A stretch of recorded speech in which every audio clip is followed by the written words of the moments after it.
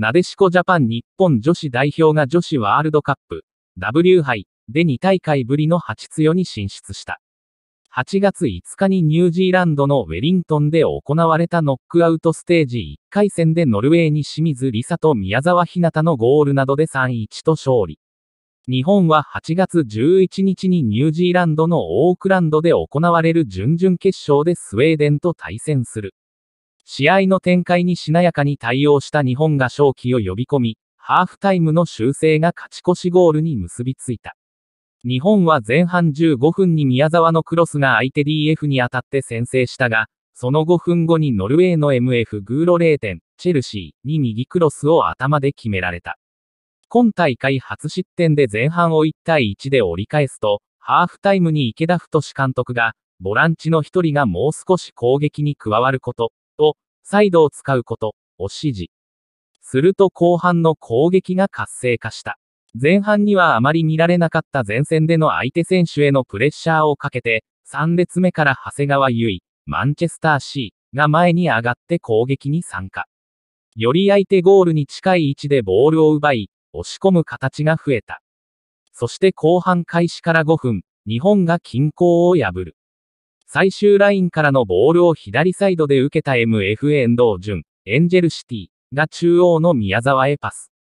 その瞬間を捉えてゴール前へダッシュした長谷川が宮沢からのパスを受けて、ゴールを背に宮沢の肩へ落とす。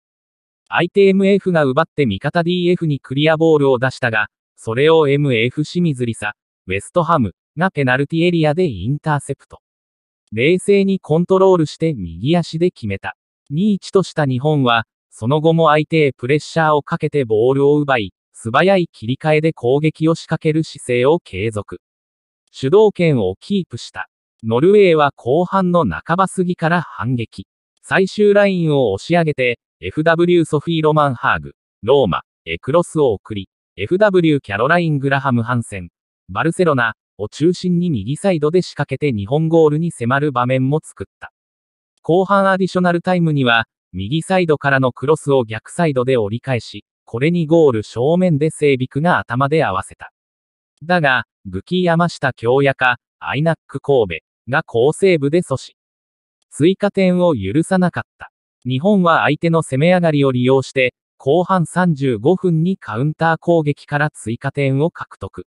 ロングボールで攻め手を探るノルウェーからボールを奪うと、FW 富士の青葉、東京ベレーザがドリブルで持ち上がって宮沢へスルーパス。宮沢はペナルティエリアに持ち込んで冷静に右足で決めた。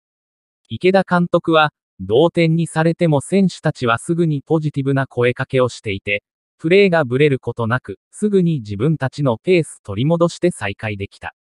また一つ、タフになれたのでは、と選手たちの対応を評価した。敗れたノルウェー代表のヘーゲリーセ監督は、日本はボールを持つとうまいので、我慢強くプレーして守備を固めてカウンターを狙おうとしたが、日本は素晴らしい選手といい戦術を持っていて、ダイレクトプレーと細かいパスで崩してくる。簡単ではなかったし、我々も守備は硬かったと思うが十分ではなかった、と語り、日本が良いプレーをした。日本を褒めたい。と潔かった。文、木野原く望む。なでしこジャパンノックアウトステージ試合日程。ノックアウトステージ1回戦5分の8。土曜日17時キックオフ日本3の1ノルウェー女子代表。準々決勝8月11日、金曜日、16時30分キックオフ日本 VS スウェーデン女子代表。